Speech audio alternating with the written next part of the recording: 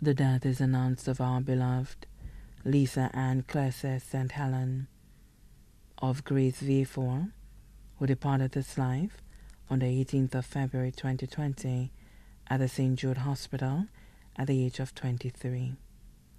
The celebration ceremony for the life of Lisa Ann Clairsa St. Helene will be held at the Augier Evangelical Church on Saturday, March 7, 2020 at 2.30 p.m. Then the body will be laid to rest at the Latony Cemetery.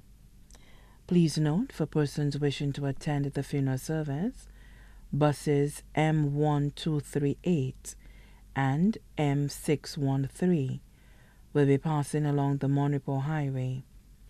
M907 will be stationed at the Dennery Fishing Complex.